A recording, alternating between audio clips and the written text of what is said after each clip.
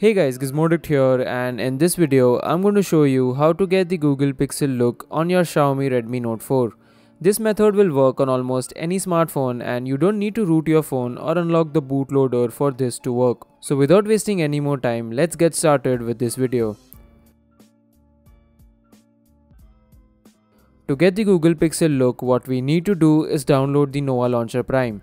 Now I know that there's a free version of the launcher but I would recommend the Prime version because we do need to change a few things about the launcher and those features are only available in the Prime variant.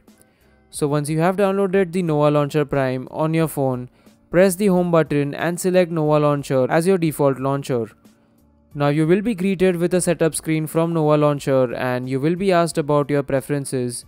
So select the options as you can see on the screen right now. Once you are done with setting the launcher up, you will be at your home screen. Here you need to long press anywhere and then select settings. This is the Nova settings menu and here you need to change quite a few things to get the Google Pixel look. First of all, click on desktop and from there select the desktop grid option. Here change the grid size to 5x4 so basically it should have 5 rows and 4 columns. After that you need to go back and then select the icon layout option. Here change the icon size to 120% and the font should be condensed. The font size slider should be at the second position. Once that is done, go back and click on width padding and select medium. Then click on height padding and then select large. Next, you need to enable the persistent search bar and then select the search bar style option. Select the style option which you can see on the screen right now. Click back and now go to the scroll effect and select simple and at the bottom you can see the page indicator option. Switch it to none and now head back to the main menu. Select app and widget drawer option and inside that menu select the drawer app grid option. Here the grid size would be 5 rows and 5 columns. Then click on icon layout and then apply the same settings which we did earlier. So the font size should be around 120% and the font should be condensed with size 2. After you've done that, go back and make sure that the frequently used apps option is on along with the swipe to open option. Then click on background and select the white color option and select the transparency to 0%. You can make it more transparent if you want to but we are going to go with 0% like the Google Pixel. Go back, scroll down and then select the scroll accent color option. Here you need to select the teal shade which is present in the fourth row. Now go back to the main menu and click on dock. Inside dock settings, select dock background and here the shape should be rectangle and change the transparency to about 85%.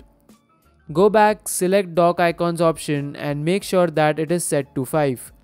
Now go to icon layout and again apply the same icon settings that we were using earlier. Change the width padding to medium and the height padding to large and then come back to the main menu. Click on folders and here click on folder background. Select the N preview background option. Now click on icon layout and change the icon settings here as well. Now come back to the main menu and the last step is to change the icons. To change the icons, click on look and feel option and then click on icon pack and select your preferred pixel icon pack. Now I use the Pixel IP icon pack but you can find a lot of pixel icon packs on the Google Play Store. So download any one of them but I would recommend the Pixel IP pack. Now come back to your home screen and now you have the Google Pixel look on your Redmi Note 4.